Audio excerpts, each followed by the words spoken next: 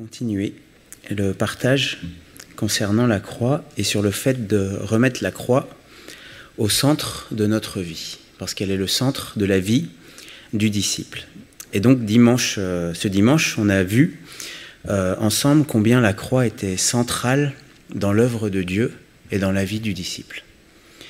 Hein, on a vu que la croix, c'était pas une étape dans la vie du chrétien, mais c'était quelque chose qui doit être présent tous les jours de notre vie. Et on a vu ce principe, hein, je fais un petit rappel, que le disciple, il est appelé à porter sa croix.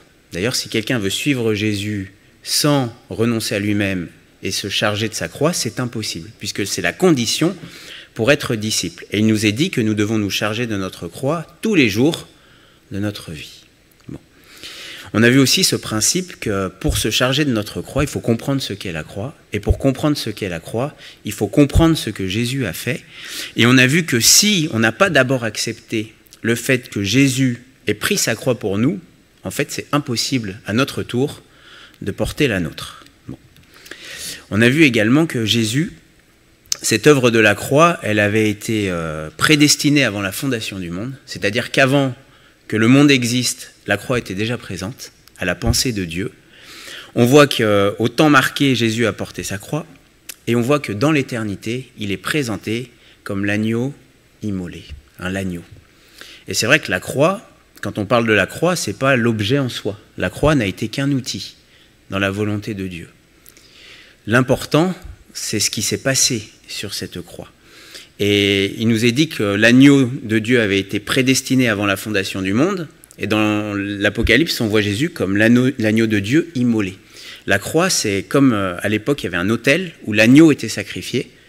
Ben, la croix, c'est le lieu où le sang de Jésus a coulé pour nous. Pour aller plus loin dans, cette réflexion, on va faire une première lecture dans le livre de l'Exode, au chapitre 12, où justement on voit euh, l'agneau. Hein. Euh, Exode chapitre 12, c'est le moment de, la Pâque, et on va lire à partir du verset 3. Exode 12, verset 3. Donc Dieu parle à, son peuple au travers de, Moïse et d'Aaron.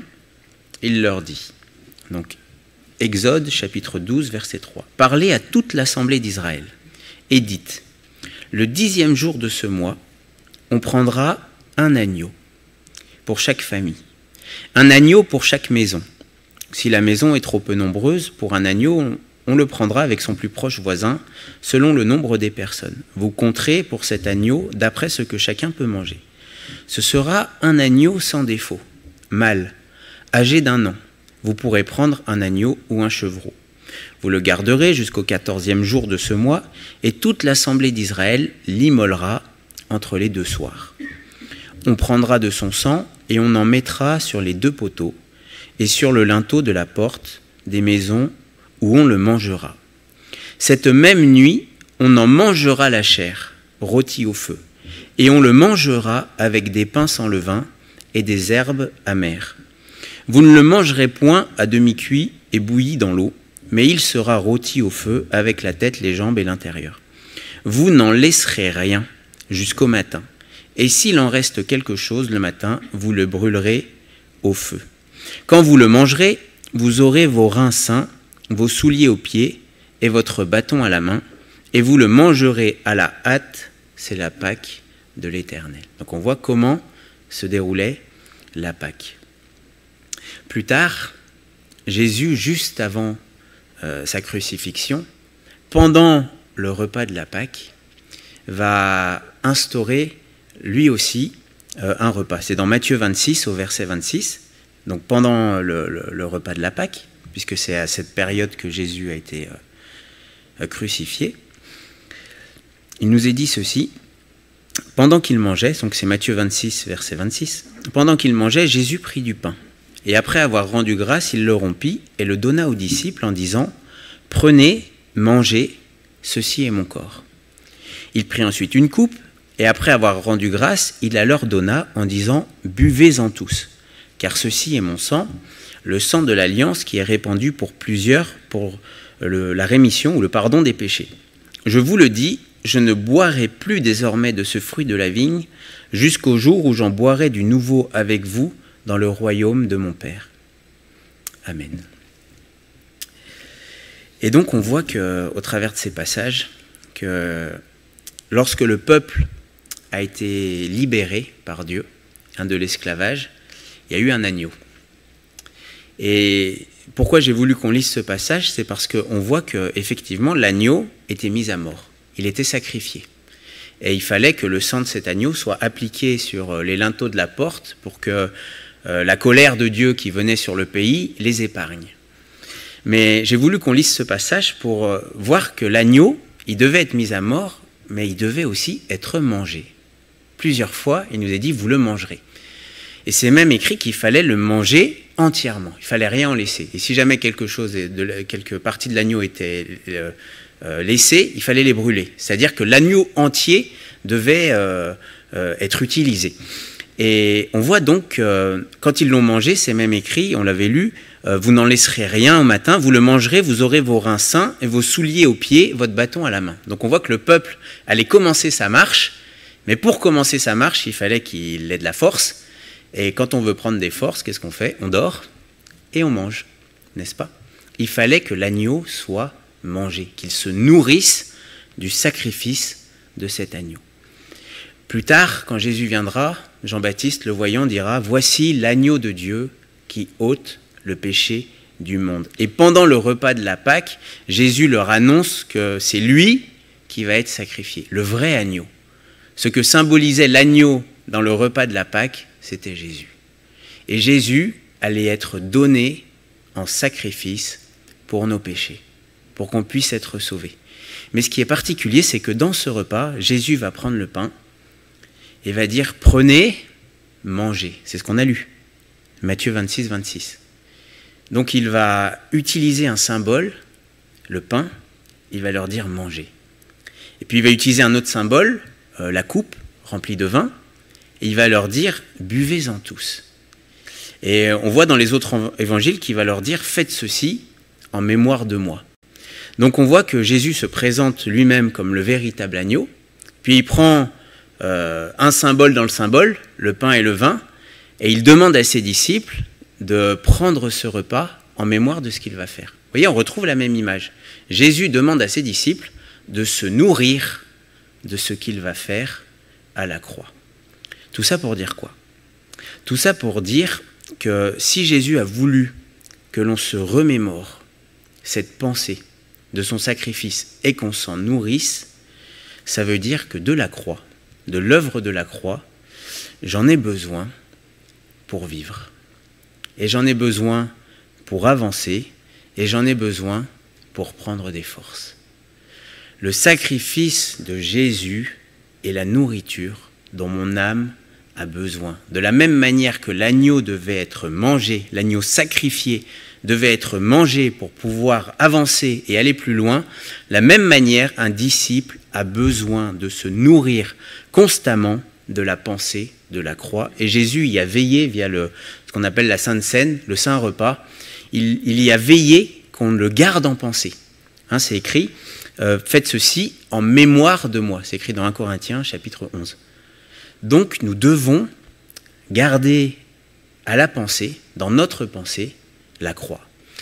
Notre cœur, nos pensées doivent être pétries constamment de la croix. Physiquement, si je veux prendre des forces, j'ai besoin de manger. Et moins je mange, plus je suis faible, n'est-ce pas? Et eh bien Pour un chrétien, c'est pareil. Moins il y a la pensée de la croix, plus il est faible. Moins il y a la pensée de la croix, moins il obéit. Moins il y a la pensée de la croix, plus il tombe. Plus il y a la pensée de la croix, plus il est fort. Plus il y a la pensée de la croix, plus il est rayonnant. Plus il y a la pensée de la croix, plus il a la force d'avancer et d'obéir à Dieu. Et si à un moment, il n'y a plus la pensée de la croix, qu'est-ce qui se passe? Quand on ne mange plus et on ne boit plus Eh bien, on meurt. Et un chrétien où la croix, un disciple, pardon, où la croix disparaît de sa pensée, de sa vie, il meurt. La croix, elle est essentielle à la vie du disciple. En fait, nos forces, notre vie spirituelle est puisée dans l'œuvre de la croix. Et ça, c'est important. Je ne sais pas quel est votre niveau spirituel. Alors je ne sais pas, ça c'est dur, hein, c'est-à-dire euh, savoir où on en est, je ne sais pas. Mais des fois on sait qu'il y a eu des moments où on était bien avec le Seigneur, puis il y a des moments où on est moins bien. Eh bien réfléchissez bien, et vous remarquerez que ces moments où vous étiez bien avec le Seigneur étaient proportionnels à la place de la croix dans votre vie. Et que peut-être le problème actuel, c'est que vous vous nourrissez de moins en moins, voire plus du tout, de ce que Christ a fait pour vous. Et de ce que Christ a fait, sur la croix, il a dit que tout était accompli. Tout ce dont vous avez besoin pour aller jusqu'au bout et rentrer dans l'éternité se trouve dans ce que Christ a fait à la croix. Un disciple, pour naître, pour vivre, pour grandir au Christ et pour finir dans l'éternité avec Christ, a besoin de l'œuvre de la croix. Voilà, c'est le centre. Et ce soir, je vous propose bah, que nous puissions, encore une fois, regarder à la croix, et plus que de regarder, nous nourrir de ce que Christ a fait. Alors c'est quoi prendre, se nourrir? Bah, C'est mettre sa confiance. Comment est-ce qu'on reçoit ce que Dieu nous donne? C'est par la foi. La foi, c'est pas juste dire ah oui, c'est vrai. La foi, c'est prendre de la même manière que je prends de la nourriture et que je l'ingère et qu'elle produit la vie en moi. Croire, c'est ça. C'est pas parce que je regarde le menu ou que je, m'approche de l'assiette euh, très très proche que même je touche la nourriture qu'elle produit quelque chose en moi. C'est quand je la saisis par la foi. La foi, c'est un peu la main du cœur. C'est ce qui vous permet de prendre ce que Christ a fait et l'assimiler. De la même manière que le sang était appliqué sur les linteaux de la porte, il faut que l'œuvre de Christ soit appliquée à ma vie. Ça sert à rien de savoir. Ce qu'il faut, c'est prendre ce que Dieu me donne. Alors, on va parler de la croix. Et pour euh, parler de la croix, on va prendre un texte qui en parle, c'est dans euh, l'Épître aux Philippiens, au chapitre 2. Philippiens, chapitre 2. Il y a un des textes magistrales qui parle justement de la croix et qui nous parle de ce que Christ a fait, mais de surtout la pensée de la croix. Parce que porter sa croix en tant que disciple, hein, c'est pas se charger d'un morceau de bois. Porter sa croix, c'est avoir la même pensée qui était en Jésus-Christ. Et donc, dans l'Épître aux Philippiens, au chapitre 2, Paul parle à l'Église, et au verset 3, il leur dit Ne faites rien par esprit de parti ou par vaine gloire, mais que l'humilité vous fasse regarder les autres comme étant au-dessus de vous-même. Que chacun de vous, au lieu de considérer ses propres intérêts, considère aussi ceux des autres. Ayez en vous les sentiments ou la pensée hein, qui était en Jésus-Christ. C'est plus que des sentiments, c'est le cœur qui avait en Jésus-Christ, la pensée littéralement. Ayez en vous donc la, la pensée, les sentiments qui étaient en Jésus-Christ, lequel, existant en forme de Dieu, n'a point regardé comme une proie à arracher, c'est-à-dire comme quelque chose de très important, n'a pas regardé comme une proie à arracher d'être égal avec Dieu. Donc là, on voit que Jésus, avant de s'incarner, existait déjà. Hein, il n'a pas été créé, Jésus. Il est incréé. Mais il s'est incarné, existant en forme de Dieu. Et là, il nous est dit qu'il était égal avec Dieu. Donc euh, Jésus est Dieu. Hein. Là, on en a la, la preuve. Et pourtant, verset 7. Mais il s'est dépouillé lui-même en prenant une forme de serviteur, en devenant semblable aux hommes et ayant paru comme un simple homme. On voit que Jésus, il a pris une forme de serviteur. Son identité ne change pas. Il reste qui il est, mais la forme, il s'incarne dans l'homme, en sorte que Jésus, il est pleinement Dieu et pleinement homme. Il s'est fait homme. C'est écrit ayant paru comme un simple homme, c'est-à-dire un homme, un homme entier, comme nous. Verset 8, il s'est humilié lui-même, se rendant obéissant jusqu'à la mort, même jusqu'à la mort de la croix. Voyez, on voit la croix. C'est pourquoi aussi Dieu l'a souverainement élevé et lui a donné le nom qui est au-dessus de tout nom, afin qu'au nom de Jésus, tout genou fléchisse, dans les cieux, sur la terre et sous la terre, et que toute langue confesse que Jésus-Christ est Seigneur, à la gloire de Dieu le Père. Amen. Dans ce texte, il nous est parlé des sentiments, de la pensée qui était en Jésus-Christ, et on a le détail.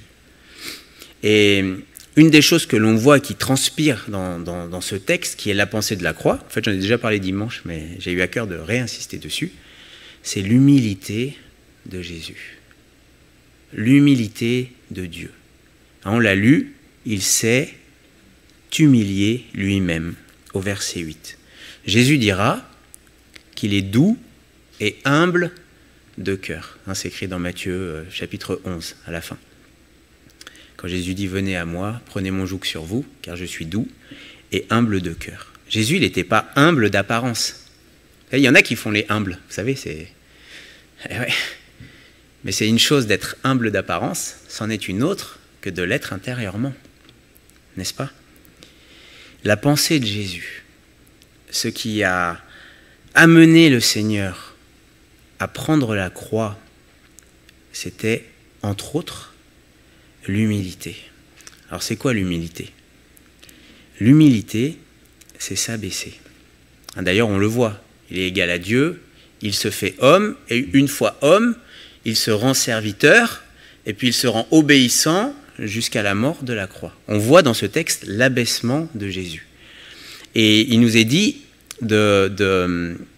au verset 3, euh, que l'humilité vous fasse regarder les autres comme étant au-dessus de vous-même. Donc l'humilité, c'est se placer en dessous, en sorte qu'on voit l'autre au-dessus. Bah oui.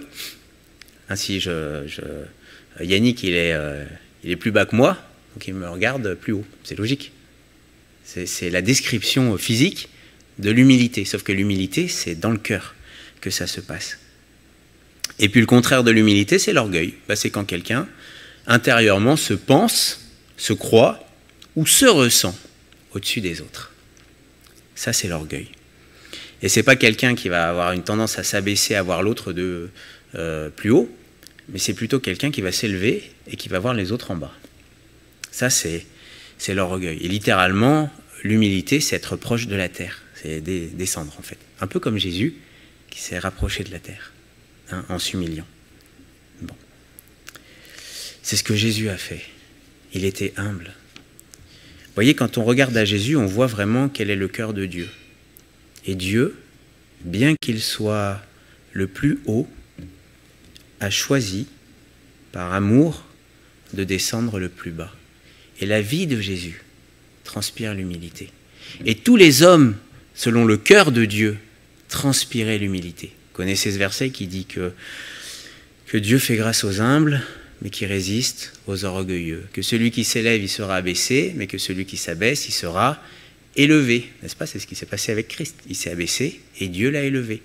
Que les premiers seront les derniers, que les derniers seront les premiers. Jésus a accepté d'être le dernier des hommes et Dieu l'a élevé comme étant le premier des hommes. Parce que quand Christ est remonté au ciel, il est remonté en tant qu'homme ressuscité. Bon, je ferme la parenthèse. Donc on voit dans toute la vie de Jésus cette humilité, rien que par sa naissance. Il a choisi de naître euh, sans qu'il y ait de place pour lui, hein, dans la crèche. De par sa vie, il n'a jamais cherché à attirer les regards ou à être élevé au-dessus des hommes, au contraire. Il était humble, il n'avait ni beauté ni éclat pour attirer les regards. Quand on voit l'exemple dans son intimité, on l'a lu dimanche dans Jean au chapitre 13, quand on le voit laver les pieds des disciples, vous savez, il était qu'avec ses disciples. Même où très peu de gens le voyaient, il était humble, parce que c'était son cœur. Et on voit dans, donc dans Philippiens 2 au verset 7, c'est écrit, c'est dépouiller lui-même en prenant une forme de serviteur. Et c'est là qu'on voit ce que l'humilité nous amène à faire quand on est humble, on a une tendance on a un cœur pour servir les autres. Ben oui, s'abaisser, c'est se mettre au service, comme Jésus l'a fait pour ses disciples. Et c'est vrai que dans Jean 13, c'est particulier, on ne va pas le lire euh, ce soir, mais je vous invite vraiment à relire ce passage, quand Jésus, qui est le Maître et le Seigneur, qui est Dieu, va s'abaisser et laver les pieds de ses disciples. C'est vraiment un moment particulier. Il va prendre un linge, il va laver les pieds. C'est-à-dire qu'il va, il va prendre la souillure des pieds de ses disciples sur lui. C'est vraiment l'image de la croix, la pensée de la croix. Et en fait, on voit que la vraie grandeur, c'est de descendre. C'est pas de se mettre au-dessus des autres. Ceux qui se mettent au-dessus des autres, eh bien, ils sont petits. Donc Jésus va s'humilier. Et c'est ça le vrai service. Servir, c'est pas faire ceci ou pas faire cela. Service, servir, bah, par définition. Hein. Enfin, ce que je dis, c'est que des, des évidences. Mais servir, c'est se rendre serviteur pour quelqu'un. C'est s'abaisser pour quelqu'un. Et ça, il n'y a que dans le cœur qu'on peut, que, Dieu sait, ou que nous on sait ce que l'on fait. Qu'est-ce que je fais ce matin, euh, ce soir Est-ce que je m'élève au-dessus de vous et puis je vous fais la leçon? Ou est-ce que je m'abaisse et je vous sers? Ah, ah, Vous ne pouvez pas savoir, il n'y a que Dieu qui sait. Parce qu'il n'y a que Dieu qui connaît mon cœur. Et il nous est dit, en parlant de Christ, qu'au final, l'aboutissement de son humilité, là où son humilité l'a amené, c'est à se rendre obéissant jusqu'à la mort de la croix. Se rendre serviteur jusqu'à la mort de la croix. Verset Philippiens 2, verset 8, il nous est dit, il s'est humilié lui-même. Vous voyez, l'humilité, c'est un choix. C'est pas Dieu l'a humilié. C'est lui qui a choisi lui-même de s'humilier. Il s'est humilié lui-même, se rendant obéissant jusqu'à la mort. Mais il s'est écrit même jusqu'à la mort de la croix. Parce que la mort de la croix, c'est pas n'importe quelle mort. La mort de la croix, c'est vraiment une mort horrible. Et Jésus a accepté cette mort-là. Il aurait pu venir et puis, euh, je sais pas, mourir d'une autre manière décapitation, clac, c'était plus rapide, moins douloureux, enfin je pense. Mais Jésus a choisi et a accepté la mort de la croix. Et la mort de la croix, c'est une mort humiliante. C'est vraiment une mort humiliante. Et Jésus avait le choix. Et pourtant, il a accepté cette mort-là. Il s'est rendu obéissant jusqu'à la mort, même jusqu'à la mort de la croix. Et il en a fallu de l'humilité pour accepter cette mort-là. La croix, c'est, pas rien. Avant la croix, il y a eu les angoisses à Gethsemane. Des angoisses telles qu'il a saigné des grumeaux de sang. Il a fallu l'accepter, ça. De le faire par amour pour nous. La croix, ça a été la flagellation. Et renseignez-vous sur ce qu'est la flagellation romain. On l'a écorché vif. On lui a lacéré le dos. Il l'a accepté par amour pour nous. Personne ne l'a forcé. Il a accepté. Il s'est humilié à ce point-là. Il a accepté la moquerie, la cape rouge, la couronne d'épines, qu'on le frappe avec le roseau, qu'on lui crache au visage, qu'on lui arrache la barbe. Il en faut de l'humilité pour accepter ça. Alors qu'il est Dieu. Hein. Il a eu droit à la croix, les clous dans les mains, le clou dans les pieds. Mais c'est quelque chose. Hein. Et si vous vous renseignez sur ce qu'est la croix, c'est une torture. Parce que quand on s'appuie sur les clous des mains, déjà ça fait mal, mais on s'asphyxie. Et pour pas s'asphyxier, il faut se pousser sur le pied, le clou du pied, pour pouvoir respirer un peu, ce qui fait une douleur euh, atroce de A à Z. Les Romains avaient choisi cette mort-là parce que c'était la pire. Et au final, c'était une mort par asphyxie. Il en a fallu, fallu l'humilité pour Dieu d'accepter ça alors qu'il était égal de Dieu. La croix, ça a été une exposition publique. Ça s'est pas fait en secret, ça s'est fait aux yeux de tous, en hauteur. Ça a été un dépouillement. On lui a ôté ses vêtements, on se les a partagés. Vous voyez, il en faut de l'humilité pour accepter ça. Et puis la croix, ça a duré pendant des heures. Vous voyez, c'est une chose de supporter une souffrance une minute, hein, mais la supporter des heures. Voyez, le Seigneur, il était humble. Et bien qu'il était Dieu, il l'a fait. Alors bien sûr, Dieu l'a ressuscité et lui a donné le nom qui est au-dessus de tout nom. Est-ce que j'accepte que Dieu, par amour, ait accepté cette mort-là pour moi? Est-ce que je me nourris de cette pensée? Qu'est-ce que ça Est-ce que vous recevez par la foi? C'était pour vous. S'il y aurait eu que vous, il serait venu. S'il y aurait eu personne, il serait venu quand même, parce que c'était par amour pour le Père aussi. Mais d'abord, je dois me nourrir de cette pensée que Dieu m'a tant aimé, qu'il a accepté ça. Y a-t-il une vérité plus grande? Y a-t-il quelque chose de plus puissant? Y a-t-il autre chose que notre âme a besoin pour aller plus loin? Absolument pas. Et de la même manière qu'on mangeait l'agneau, qu'on prend le pain, le vin, je dois vivre de cette réalité. Toute la vie spirituelle, la vie de l'esprit comme on l'appelle, dépend de cette réalité. Et la croix, c'est une œuvre profonde. Et en fait, si on plonge notre vie, nos regards, qu'on se nourrit de ce que Christ a fait, en réalité, notre âme n'est même pas suffisamment euh, euh, grande pour contenir ça. En fait, ça déborde. C'est ce qu'on appelle être rempli de l'esprit. Mais je dois aller à Christ et nourrir mes pensées. Ayez en vous la pensée qui était en Jésus-Christ. Et la question que je dois me poser, mais si je reçois cet amour et cette humilité réellement, est-ce que j'accepte de suivre ses traces? Parce que porter sa croix, c'est choisir l'humilité. Porter sa croix, c'est choisir de descendre, comme Christ l'a fait pour moi. Choisir la croix, c'est me rendre serviteur des autres. Et oui, parce que un serviteur de Dieu qui ne sert pas les autres, c'est pas un serviteur de Dieu. Un Christ, le serviteur par excellence, a rendu le service absolu pour nous, en prenant sa croix. Voyez Parler de la croix, c'est beau, hein, mais il faut la prendre. Ce sera la conclusion.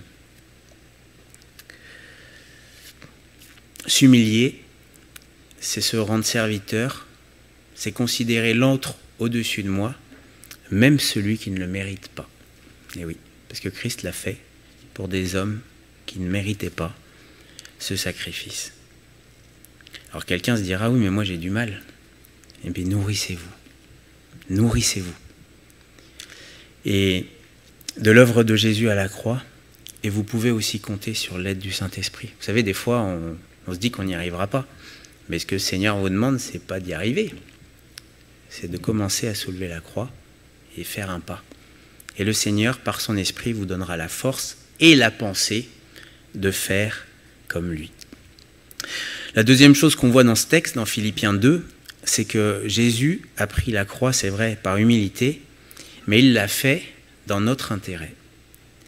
Hein, on a, on a, lu au verset 4 que chacun de euh, Philippiens 2 verset 4 que chacun de vous au lieu de considérer ses propres intérêts considère aussi ceux des autres ayez en vous les sentiments la pensée qui étaient en Jésus-Christ. La croix c'était dans notre intérêt. c'est simple hein, ce que je vous dis. Hein. Jésus l'a pas fait pour lui, il l'a fait pour nous. c'est ce qu'on pourrait appeler euh, de l'altruisme. Vous savez, l'altruisme, c'est faire passer le besoin, l'intérêt de l'autre avant le nôtre. Et le contraire, c'est quoi? De quelqu'un d'altruiste, c'est quelqu'un d'égoïste. C'est celui qui fait passer lui, le moi, avant l'autre. Et si Jésus est allé à la croix, mais c'était pas pour lui. Il était Dieu. Qu'est-ce qu'on peut désirer, vouloir de plus? Tout ce qu'il voulait, il l'avait. Et pourtant, il a fait passer notre intérêt avant le sien. Et dans l'épître aux Philippiens, on voit qu'il y a un peu plus loin, au chapitre 3, au verset 18, il nous est parlé de certaines personnes qui sont ennemies de la croix. Et oui, parce qu'on peut choisir la pensée de la croix, mais on peut aussi s'y opposer. On peut être ami de Dieu, tout comme on peut être ennemi de Dieu. Et dans Philippiens, donc au chapitre 3 et au verset euh, peut prendre le verset, le euh, pardon, verset 18, non 17. C'est écrit Soyez tous mes imitateurs, frères, et portez les regards sur ceux qui marchent selon le modèle que vous avez en nous. Donc là, on voit que Paul, il marchait selon le modèle qu'il avait reçu du Seigneur, et au final, en devenant comme le Seigneur, il devenait un modèle pour, euh, pour les autres chrétiens. Regardez verset 18. Car il en est plusieurs qui marchent en ennemi de la croix. Vous voyez Il y a des ennemis de la croix. Ennemis de la croix de Christ. Je vous en ai souvent parlé. Donc on voit que c'était un sujet dont Paul parlait souvent. Et j'en parle maintenant encore en pleurant. Ça provoquait une euh, très grande tristesse chez Paul. Et comme euh, plus que chez Paul, chez le Seigneur. Leur fin sera la perdition. Et regardez, ils ont pour Dieu leur ventre. C'est eux. C'est eux leur propre Dieu. Ils font les choses pour eux. Ils mettent leur gloire dans ce qui fait leur honte. Ils ne pensent qu'aux choses de la terre. Voyez la pensée. Est-ce qu'elle est vers le Seigneur, ce qu'il a fait, ou est-ce qu'elle est vers les choses de la terre? Où est-ce que je vais chercher ma nourriture? Mais c'est tout le contraire de Jésus. C'est mettre soi-même au-dessus de tout. C'est agir dans son propre intérêt plutôt que de considérer l'intérêt des autres. Et on peut s'opposer à Dieu. Et quand Paul parle des ennemis de la croix, il parle de personnes qui sont dans l'Église. Hein. Il s'adresse aux Philippiens. Savez, ça peut être facile ou subtil de s'opposer à, la croix. Vous savez, quand Jésus, à un moment, va, parler de la croix, dans Matthieu 16, quand il va dire à ses disciples, euh, après avoir révélé qu'il est le Christ qui va aller sur la croix, vous savez ce qu'un de ses disciples va dire, Pierre. Il va dire, à Dieu ne plaise cela ne t'arrivera pas. Et que va lui répondre Jésus? On peut le lire, hein, c'est Matthieu 16, verset 23, je vais vous le lire. Mais Jésus se retournant dit à Pierre, Arrière de moi Satan, adversaire, tu mets en scandale, car tes pensées ne sont pas les pensées de Dieu, mais celles des hommes. Et eh ouais. À ce moment-là, Pierre, tout disciple, qu'il était, c'était un bon disciple, hein. mais il va s'opposer à Christ et sa pensée va s'opposer à la pensée de Dieu. on voit quand on touche à la croix, là Jésus, il a, a été quand même euh, assez direct, enfin je sais pas comment dire, mais c'est parce qu'il y avait quelque chose de grave, même quelque chose de très dangereux. Vous voyez, il peut y avoir la pensée des hommes, ou celle du diable. Ben, cette pensée-là, qui s'oppose à la, qui est ennemi de Dieu, bah, c'est tout ce qui s'oppose à la pensée de la croix. Vous voyez, les pensées de Dieu, c'est les pensées qui concernent la croix. Et si je rejette la croix, en fait, je deviens ennemi de Dieu. Si je prends la croix, je deviens ami de Dieu, disciple de Christ. Et si on prenait le récit de la crucifixion, on verrait qu'en réalité, ceux qui ont crucifié Christ, bah, c'est ceux qui, en fait, euh, n'y gagnaient rien. Parce que suivre Christ, c'est pas le suivre pour gagner plus ou dans notre intérêt. En réalité, suivre Christ, c'est perdre, c'est pas gagner. En parlant de Pilate, il nous est dit, c'est Matthieu 27, 24, Pilate voyant qu'il ne gagnait rien. Eh oui, parce que si vous, si, si vous chercher à suivre Christ pour gagner plus, parce que vous voulez plus de ceci, plus de cela, plus de bonheur, plus de... Vous n'avez rien compris. Vous ne suivez pas Christ, vous suivez le monde. Celui qui suit Christ, il a déjà tout trouvé dans le sacrifice de Jésus. Il lui manque rien. Il trouve en Christ la raison de perdre sa vie. Il ne trouve pas en Christ la raison de gagner plus dans le monde. Mais Pilate, lui, il va livrer Jésus d'une manière injuste parce qu'il ne gagnait rien. Il n'y gagnait rien. Les pharisiens, avant la crucifixion, ils diront, c'est dans Jean 12, quand euh, Lazare va ressusciter, que la foule va, va croire en Jésus, euh, c'est Jean 12, 19, les pharisiens se dirent donc les uns aux autres, vous voyez que vous ne gagnez rien. Voici le monde est allé après lui. Et ça les a il perdait. Alors là, là c'est encore peut-être le degré au-dessus. Hein. C'est être en colère parce que Christ nous enlève des choses. Pas bien. Hein. Quand euh, euh, Caïphe va parler, c'est dans Jean 11, 50, en parlant de Jésus, il dit, Vous ne réfléchissez pas qu'il est dans votre intérêt qu'un seul homme meure pour le peuple et que la nation entière ne périsse pas. Alors là, il va, en fait, il va prophétiser, parce que Dieu peut utiliser ses ennemis pour glorifier son nom et annoncer des choses. Mais eux, dans leur pensée, c'était qu'ils y perdaient. C'était pas dans leur intérêt. Et puis on pourrait parler de, de Judas, le disciple de Jésus. Alors lui, pourtant il suivait Jésus, il faisait partie des douze. Il a probablement vu ou vécu des miracles. Et à un moment, c'est dans Jean 12, ça on peut le lire. Dans Jean 12 au verset 3, on voit une femme qui, elle, va justement perdre pour Jésus. C'est Marie. Jean 12, verset 3. Marie, ayant pris une livre d'un parfum de nard de grand prix, donc quelque chose de précieux, oignit les pieds de Jésus. Et elle lui essuya les pieds avec ses cheveux, et la maison fut remplie de l'odeur du parfum. Un de ses disciples, Judas Iscariote, fils de Simon, celui qui devait le livrer, dit Pourquoi n'a-t-on pas vendu ce parfum 300 deniers? Pour les donner aux pauvres. Il disait cela non qu'il se mit en peine des pauvres, mais parce qu'il était voleur et que tenant la bourse, il prenait ce qu'on y mettait. Mais Jésus dit Laisse-la garder ce parfum pour le jour de ma sépulture. Vous avez toujours les pauvres avec vous, mais vous ne m'avez pas toujours. Vous voyez, on voit Marie qui perd pour Christ et elle a sacrifié quelque chose de très précieux. Un 300, euh, c'est écrit comment? 300 deniers, c'est 300 jours de travail, hein, c'est beaucoup. C'est beaucoup, c'est une année de salaire quasiment. Mais lui, Judas, il suivait Jésus, mais on voit qu'il tenait la bourse et qu'il prenait ce qu'on y mettait. Vous voyez, il suivait Jésus, mais il y avait quand même son intérêt derrière, n'est-ce pas? Et ouais.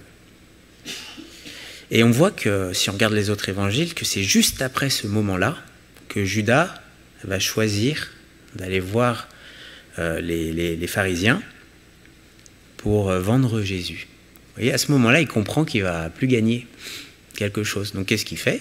Bah, Pour gagner, il va vendre le maître. Vous voyez, c'est lui d'abord. Vous voyez, il avait l'air d'être proche de Christ. Mais en fait, sa pensée était totalement contraire à, celle de celui dont il disait être euh, le disciple. Donc on voit que la pensée de la croix, c'est se donner pour les autres. Je dois me poser la question, c'est qui le premier dans ma vie? C'est moi ou c'est les autres?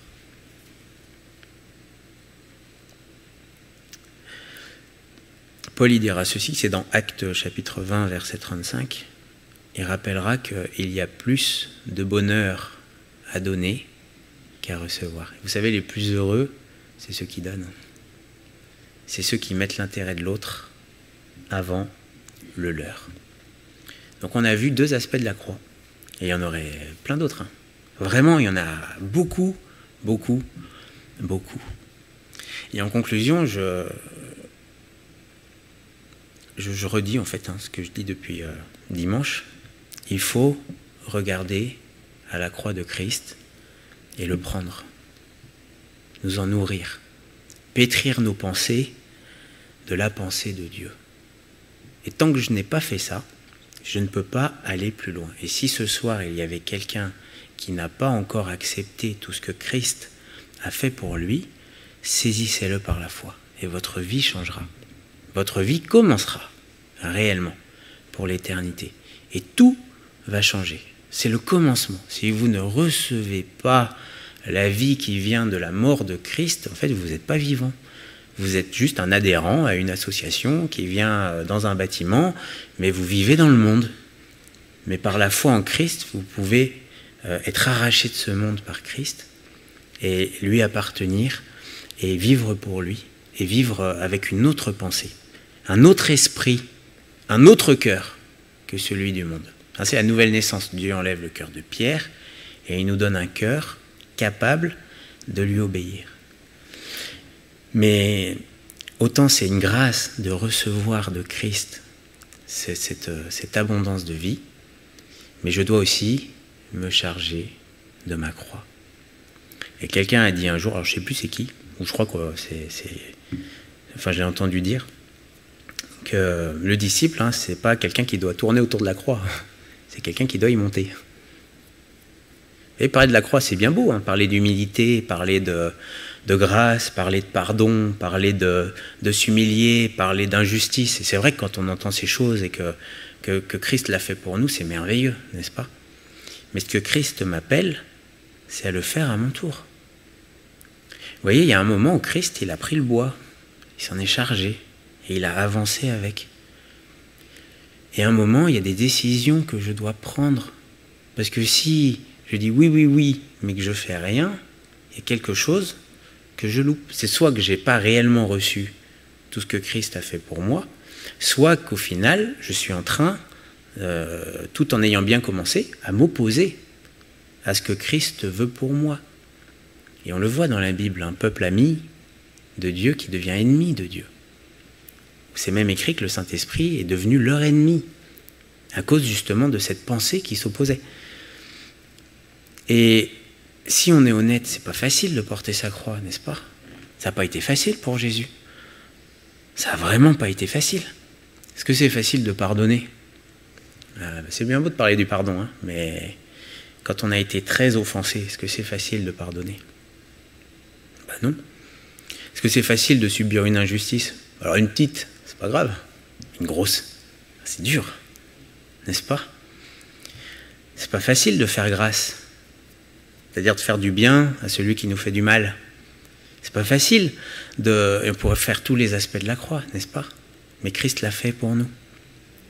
Et je crois qu'il y a des décisions qui doivent être prises. D'ailleurs, on sait dans notre cœur ce que le Seigneur nous demande.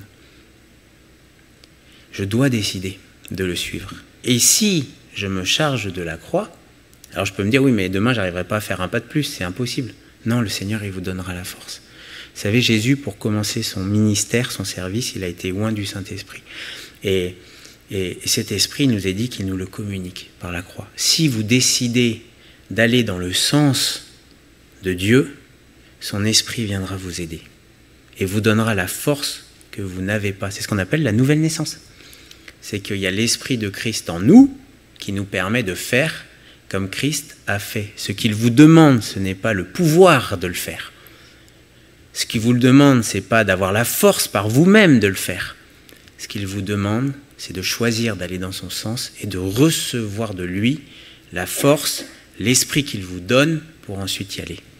Mais il faut le choisir. Il ne le fera pas à votre place. C'est à vous de le faire. Et si Jésus dit à tous, celui qui veut venir après moi, qu'il se charge de, qu'il renonce à lui-même, qu'il se charge de sa croix et qu'il me suive, c'est que tous peuvent le faire. Et j'aimerais qu'on incline nos, fronts et qu'on réponde au Seigneur. Je ne sais pas quel est l'aspect de la croix que vous avez besoin de pratiquer. Si c'est de s'humilier pour aller demander pardon, si c'est de s'humilier pour faire quelque chose que le Seigneur vous demande et que vous n'avez pas forcément envie de faire, si c'est le fait de bénir quelqu'un et que vous n'avez pas envie de le faire, mais vous savez qu'il faut le faire, si c'est lâcher prise par rapport à une injustice et l'accepter dans la foi, mais que c'est dur pour vous, mais vous pouvez le choisir.